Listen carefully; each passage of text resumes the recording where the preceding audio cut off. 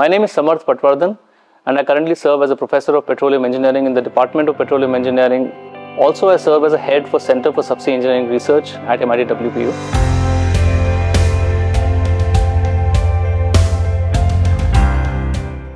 Being the second oldest department in the country and being the second oldest student chapter holder in the country, we follow Society of Petroleum Engineering guidelines quite rigorously in order to design our courses and also for our R&D.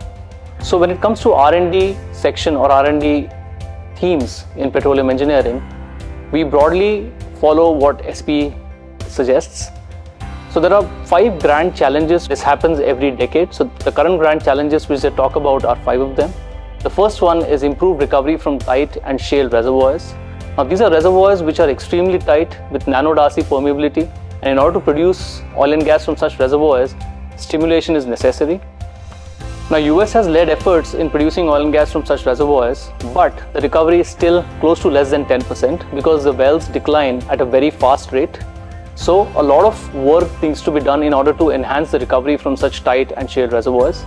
And stimulation is one of the areas which is seeing a lot of R&D happening for energy security from such reservoirs. The scale of opportunities which are available for reduction of upstream oil and gas uh, carbon emissions is significant.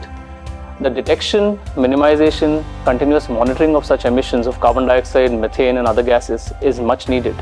And of course, there are low carbon solutions which are available in the current industry or current market, but which need an immense need of uh, scaling up so that it can be used for optimizing processes and moving towards net zero.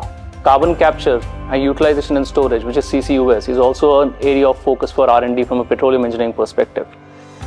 CCUS needs to happen where the capture of carbon dioxide followed by transport and permanent utilization of storage at scale needs to be done and R&D needs to be done at multiple levels. There are a few projects which are successful across the world, but supply chain for this capture, transport and taking it all the way to the point of injection by utilizing oil and gas wells is something which needs to be done for where uh, new business models and new policies need to be drafted so that it becomes cost effective and efficient for all the stakeholders in the market.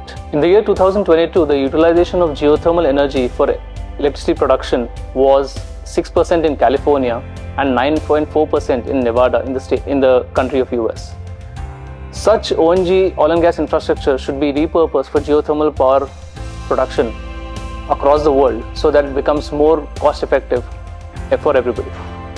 Subsurface heat maps and matrix characterization or reservoir characterization needs to be done in order to assess the potential of such geothermal reservoirs across the world. And I'm proud to say that I have faculty members who are my colleagues at the Department of Petroleum Engineering who are working on both the geothermal as well as the hydrogen space when it comes to R&D projects. Of course, with the advent of artificial intelligence across industries, we can't ignore it in the oil and gas industry.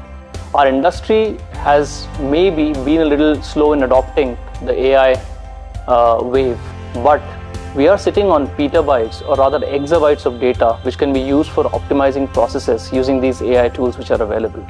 So right, it, right from uh, decline curve analysis all the way to well test interpretation, reservoir characterization, water flooding or other EOR operations, AI tools are being uh, made, they are being utilized and there are a lot of R&D projects going on across the world where AI can be utilized for making such processes better and extracting that last drop of oil from the reservoirs. And we at Department of Petroleum Engineering are also working on such projects where we have doctorate students working with industry on data where we can help them recover more oil with higher efficiencies.